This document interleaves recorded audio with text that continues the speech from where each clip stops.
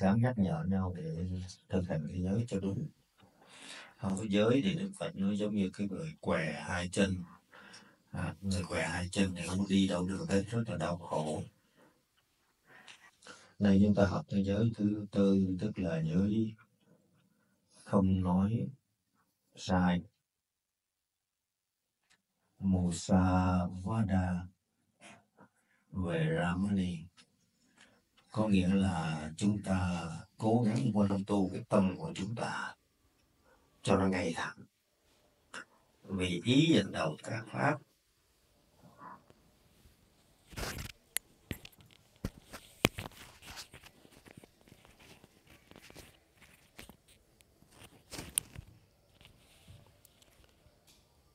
Vì ý dẫn đầu các pháp. Cho nên đó, khi chúng ta muốn nói sai là do cái ý. Cho nên cái chữ Veramani á, tức là con xin huân tu cái tâm của con cái ý của con. Lúc nào cũng ngay thẳng. Phật tức là giác ngộ. Mà giác ngộ thì không có nói sai không có nghĩ sai. Trước hết là không nghĩ sai. Nghĩ sai thì sẽ nói sai cái lời nói nó chỉ là biểu hiện bề ngoài thôi.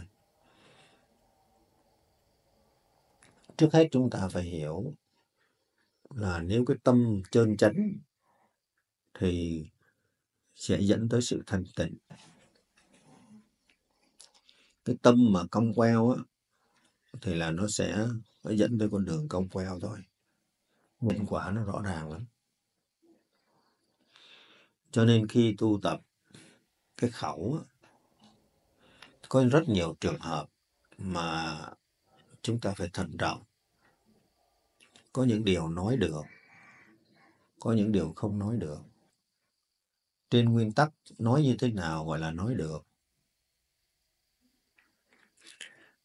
Cổ ngữ có câu là uốn lưỡi bảy lần trước khi nói. Có nhiều người nói uốn lưỡi bảy lần tức là cứ uốn cái lưỡi lên cong lên bảy cái rồi mới nói. Lúc giận người ta đó uốn cái lưỡi cong lên bảy lần rồi mắng chửi thì cũng như không thôi. Chẳng ích lợi gì hết. Con số 7 ở đây á, nó gồm có hai con số. Số 4 cộng với số 3 là bằng 7 số 4 nó tượng trưng cho đông tây nam bắc bốn hướng và số 3 đó, tượng trưng cho quá khứ, hiện tại, vị lai. Nói nôm na đó uốn lưỡi bảy lần, tức là nói đúng thời, đúng chỗ, đúng lúc, đúng người, đúng việc, thì gọi là uốn lưỡi bảy lần. Và theo như lời Phật dạy, nói lợi mình, lợi người, và lời nói ấy được người trí khen ba tiêu chuẩn, lợi mình, lợi người và được người trí khen. Người trí đánh giá là đúng.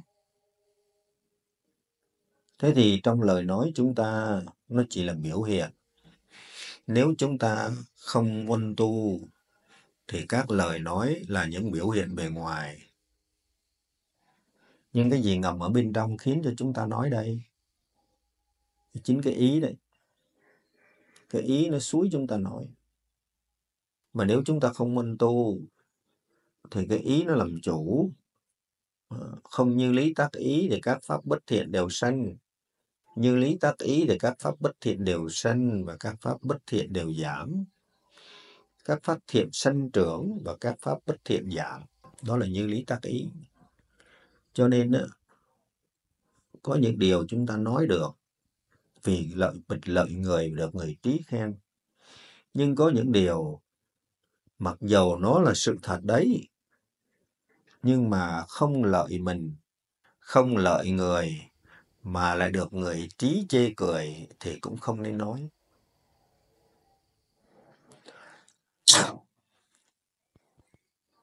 Đức Thế Tôn trong lúc đang ngồi thiền, có một con thỏ nó chạy ngang trước mặt ngài rồi nó chui vào cái bụi rậm sau lưng ngài. Cũng là lạ lắm đức thế tôn ngồi đâu có các uh, chim muông rồi thú nó đều ưa thích ở chung quanh ngài. Tại vì ngài tỏa ra cái tâm từ làm cho nó được an ổn cho nên nó, nó núp trong đấy. Ngài đang ngồi thiền ngài thấy nó chạy vào đằng sau bụi sau lưng ngài nó núp. Thì lập tức ngài đứng dậy ngài xả thiền ngài đứng dậy chưa đầy 5 phút thì có một đám thợ săn nó rượt tới. Nó thấy ngài đứng đấy. Nó hỏi, này ông cụ đàm, ông có thấy con thỏ nó vừa mới chạy ngang đây không? Đức thế tôn nói như thế này, kể từ lúc ta đứng ở đây, kể từ lúc ta đứng ở đây, ta không thấy con thỏ nào cả. Đám thợ săn nó bỏ đi con thỏ được cứu thế thì Musawada là nói làm sao đúng thời, đúng lúc, đúng chỗ, đúng người, đúng việc, lợi mình, lợi người và được người trí khen tặng. Nếu lúc bấy giờ Đức Thế Tôn nói ta có thấy con thỏ thì đương nhiên nó rượt con thỏ, nó giết con thỏ rồi. Nhưng mà Ngài có tâm từ, Ngài nói lợi mình là lợi cái gì? Lợi là cho cái đám thợ sanh nó không phạm một cái tội sát sanh để nó bị đọa. Vì cái tâm từ đó, Ngài nói rất là thiện xảo. Ngài nói từ lúc ta đứng ở đây, thì quả thật từ lúc Ngài đứng ở đấy, Ngài có phải Ngài có thấy đâu. Nhưng mà trước khi Ngài đứng thì quả thật Ngài có thấy chứ, lúc Ngài ngồi Ngài thấy. Để cho thấy điều đó cho chúng ta bài học gì? Trong đời sống hàng ngày, cách cư xử giữa con người với con người với nhau, chúng ta nói làm sao ở trong chánh niệm để mà lợi mình, lợi người. Lợi mình là mình đừng có phạm, đừng có làm khổ mình. Và lợi người tức là đừng làm khổ người, ờ, đừng có phạm cái điều gì làm khổ người. Và được người trí khen tặng. Cho một cái thí dụ nữa. Thí dụ như đứa con của mình nó ưa chơi game tối ngày, bỏ ăn, bỏ ngủ, bỏ học. Thì bây giờ mình nói cái gì với nó đây? Năn nỉ nè, con ơi, con đừng có làm thế. Thì nó đâu có ăn thua cái gì. Nói nó không nghe đâu. Thế thì phải làm sao? Cũng phải xách cây roi mây ra, đập vỡ cái ờ, cái iPad, cái iPhone gì nó đang chơi đấy, đập vỡ đi, rồi hét lên một tiếng, xách cây roi mây ra, nó bắt đầu nó sợ sợ, nó mới chịu nghe.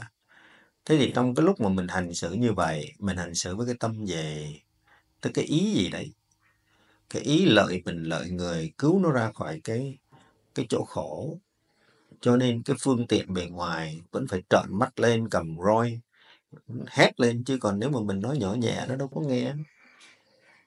Ở đây Việt Nam sư thấy rất nhiều bà mẹ, con cái nó chơi game, còn đi mua đồ ăn, đứng chờ nó chơi xong rồi nó ra nó ăn. Nuông chiều như vậy nó hư hết à. Tức là chúng ta đã không biết cách nói đúng lúc đúng chỗ lợi mình lợi người.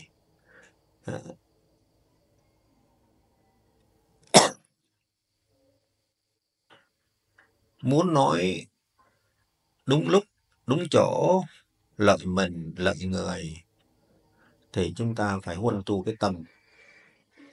Trong các cái giới luật đều ờ, có khởi cái chữ về Ramani tức là con xin huân tu cái tâm của con.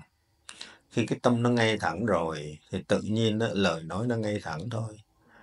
À, và nếu có trí tuệ thì lời nói có thiện xảo. Ờ, nó dung hợp được tất cả không gian và thời gian mục đích con người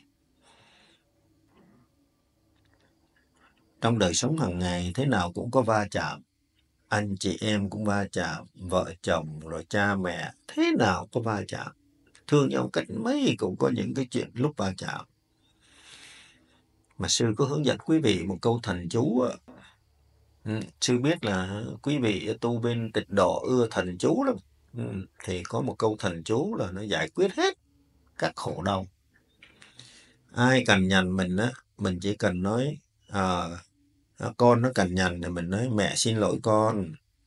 Đừng cãi đúng sai. Ở đây không có đúng có sai đúng sai chỉ đưa thêm phiền não oan, oan trái thôi. Chồng mà cần nhằn á em xin lỗi anh. Cha mà cần nhằn á con xin lỗi bố. Cái gì cũng xin lỗi hết á mình tập cho mình một cái tính kham nhẫn mình tập cho mình một cái tính chịu đựng. Và lời nói xin lỗi là cắt đứt quan trái. Thôi gặp nhau kiếp này ngán lắm rồi. À, xin lỗi là cắt luôn kiếp sau không gặp nữa.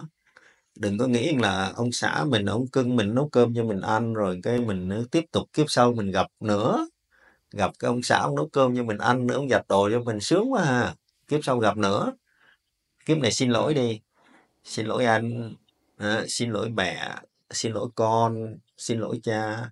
Tất cả đều xin lỗi. Mình nhận phần lỗi về mình. Mà mình nhận nó cái gì?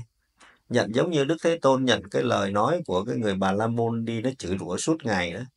Nghe mà như không nghe. À, nhưng mà vẫn nói xin lỗi. Thì cắt đứt oan trái tập tánh kham nhẫn à, biết tạp quý sám hối ghen sợ tội lỗi tại vì khi mình xin lỗi, mình biết cái lỗi rồi trong lòng mình á, tránh xa các điều ác. Lúc nào cũng dặn mình như vậy, tránh xa các tội lỗi. Mình trở thành con người cao thượng không? và mình cắt đứt oan trái. Kể cả chồng thương mấy thì thương chứ. Sư kể quý vị nghe câu chuyện hai vị ờ, đệ tử của sư, đó, tiến sĩ đó. ông chồng chết rồi nó nó về nhà, nó bà nằm chim bao bà nằm chim bao, bà thấy ông về rồi ông uống nước trà. Rồi bà nhờ sư cúng rồi xin cái bùa gắn ngay cửa đặng cho ông khỏi vô. Ờ, gánh gắn ngay cửa đặng cho ông khỏi vô vô hoài sợ quá ngủ không được. Lúc sống thì thương nhau mà lúc chết thì nó vậy đó. Ờ, tâm tánh nó thay đổi, tâm bất thường mà, tâm nó vô thường. Chuyện đó cũng bình thường thôi, mình hiểu để mình sống. Cho nên trong đời sống hàng ngày các sự va chạm đều được cảm hóa bởi một câu thần chú. Xin lỗi xin lỗi xin lỗi. Nhận lỗi hết. Thăng hoa tư cách giải quyết oán thù. Ờ, và lúc nào cũng vậy. Mà thường thường á mấy bà về nhà vợ con à, về nhà gặp chồng con. Mấy bà nói sao nó hay lắm bây giờ đó cứ uh, xin lỗi tới lần thứ năm á con cái chồng nó không nói nữa tại vì nó sắp sửa la cái gì nó mở miệng ra nó biết rồi, cái bà này cũng lại xin lỗi nữa. Câu thứ sáu là chắc chắn bạn cũng xin lỗi nữa thôi, năm lần đi xin lỗi rồi, cho nên câu thứ sáu là xin lỗi, cho nên biết rồi, cho nên không nói nữa. Lần nào nói cái gì cũng xin lỗi, không bao giờ cãi. À, thành thử ra là gia đình được yên vui, không có còn ồn ào nữa, mà như vậy trong tâm mình nó được an vui. Mình xin lỗi xong rồi mình vứt đi mà và mình xin lỗi xong rồi á, mình lại nhớ tới những cái lỗi lầm của mình, cho nên mình không phạm nữa. Và vì như vậy thăng hoa được tư cách.